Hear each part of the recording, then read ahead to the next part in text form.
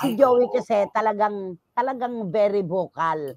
Hindi mo po pwedeng itago sa kahon ang bibig ng isang ah, Joey De Leon na talaga namang henyo sa kahit Correct. anong aspeto, di ba? Oo, pag nagsalita talaga yan, malaman. At Mm. ma- At malalaman na, mo talaga. ano yung ano yung pinost niya, Romel, pakibasa lang.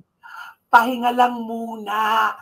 Nag, anong post niya? Pahinga lang muna. In English, take five. five. Oo. Ano yan? Oo, oo. Kasi sinabi niya, hindi po kami aalis. We're just taking a leave. Parang ganon. Oo. So, ito po ay kaliwat ka ng tanong na siyempre kami ang sinesentruhan dahil kami po ang pinagmulan ng ideya tungkol sa paglipat ng Tito Vic and Joey at Dabarkads. Marami pong istasyon.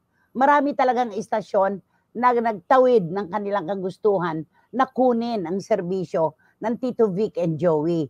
Napakarami. Kung isa-isahin po natin, natin, eh, hahaba ang ating talakayan.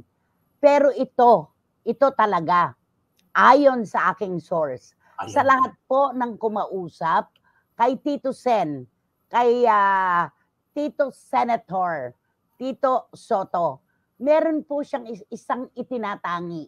Wow. Meron siyang isang ah nakausap na itinatangi. Napakahusay na pong kausap, napakalinaw, pero detalyado. At ah, kami ay humuhula talaga. At gusto na naming paniwalaan na doon na siya sa network ng taong nakausap niya na napakagandang magpaliwanag Ay, at ah, hindi ano, hindi adelantado, kumbaga.